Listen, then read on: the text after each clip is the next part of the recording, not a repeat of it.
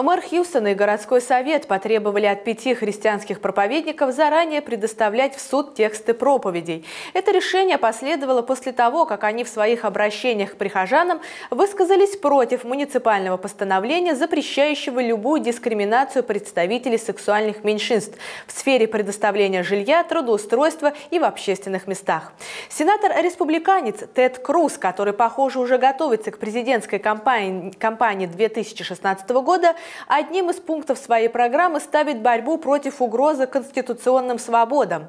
Мэр Хьюстона Эннис Паркер, которая не скрывает своей гомосексуальной ориентации и играет активную роль в продвижении прав геев, оказалась в центре атак со стороны консерваторов.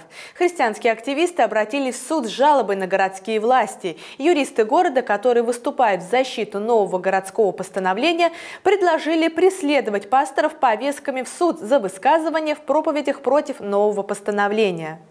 Христианская юридическая компания «Альянс защиты свободы» считает действия городских властей явной попыткой запугать граждан, которые ничего не сделали, кроме того, что просто не согласны с правительством по некоторым политическим вопросам.